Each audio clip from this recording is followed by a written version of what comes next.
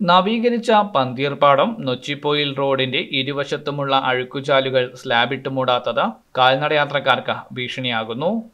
യാത്രക്കാർ ഓടയിൽ വീണ് പരിക്കേൽക്കുന്നത് നിത്യസംഭവമായി മാറുകയാണ്. ടൗണിൽ സ്ലാബിട്ട് മൂടിയ ഭാഗവും അശാസ്ത്രീയമായ രീതിയിൽ ആയതുകൊണ്ട് കാൽനടയാത്രക്കാരെ അപകടപ്പെടുത്തുന്നുണ്ട്. അഴുക്കുചാലിൽ കെട്ടിക്കിടക്കുന്ന മലിനജലം കാരണം കൊതുക് ശല്യവും രൂക്ഷമാണെന്ന് നാട്ടുകാരും കച്ചവടക്കാരും പറയുന്നു. ഇപ്പോ പന്തിരിപ്പാടം അങ്ങാടിയിൽ ഡ്രൈനേജിന്റെ പിന്നെ ഉണ്ടാക്കിയ ഡ്രൈനേജിന്റെ മുകളിൽ പൂർണമായിട്ടും സ്ലേവ് ഇട്ടിട്ടില്ല. മാത്രമല്ല എല്ലാ സ്ലേവിനെ പല സ്ഥലത്തും പൊന്തിക്കിടക്കുക. എന്നിട്ട് കാൽനട യാത്രക്കാരൊക്കെ തന്നെ അത് തടഞ്ഞ് വീണ് പരിക്ക് പറ്റിയും. കഴിഞ്ഞ ഏതാനും ദിവസങ്ങൾക്ക് മുമ്പ് പന്തിരിപ്പാടത്തിലെ ഒരു പരപ്പിൽ ഭാഗത്ത് താമസിക്കുന്ന ഒരു വീട്ടമ്മ അവിടെ പിന്നെ ഡ്രൈനേജിൽ സ്ലേവ് ഇടാത്തതിന്റെ പേരിൽ അതിൽ വീണ് പരിക്ക് പറ്റി ഇപ്പം കാൽ കെട്ടി വീട്ടിൽ കിടക്കുക. അതോടൊപ്പം തന്നെ ഇപ്പൊ മദ്രസ കുട്ടികളൊക്കെ നടന്നു പോകുന്ന ഒരു റോഡാണിത്.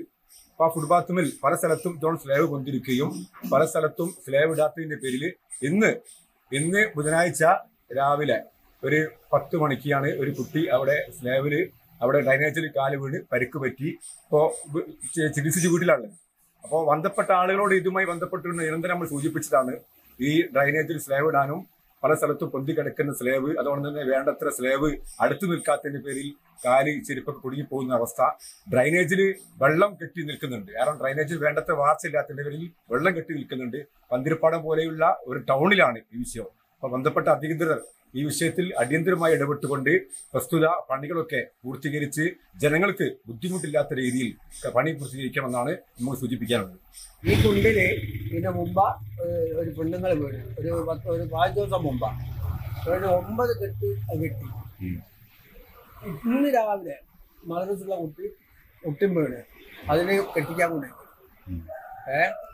അപ്പൊ ഇങ്ങനെ വീഴുകയാണെങ്കിൽ ഇതിന്റെ മുമ്പ് കുറച്ച് ദിവസം മുമ്പ് അവിടെ ആ തൊള്ളിയിൽ ഡ്രൈവർ വീണ് ഓന് എട്ട് എട്ട് വരെ കിട്ടും.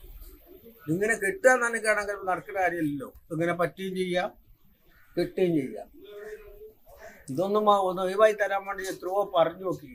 ഏന് വിളിച്ചു മറ്റോനെ വിളിച്ച് സലീം എഞ്ചിനീയർ ആരോ വിളിച്ചിട്ട് മെമ്പർ വിളിച്ചു എന്നാ പറഞ്ഞു റോഡിന്റെ നവീകരണ പ്രവൃത്തി പൂർത്തിയായി ഗതാഗതയോഗ്യമാക്കിയിട്ടും സ്ലാബുകൾ കൃത്യമായി സ്ഥാപിക്കുവാൻ അധികൃതർ തയ്യാറായിട്ടില്ലെന്നും നാട്ടുകാർ പറഞ്ഞു. നിരന്തരം അപകട ഭീഷണി ഉയർത്തുന്ന അഴുക്കുചാലിലെ സ്ലാബുകൾ ശാസ്ത്രീയമായ രീതിയിൽ പുനഃസ്ഥാപിക്കണമെന്നാണ് നാട്ടുകാരുടെ ആവശ്യം.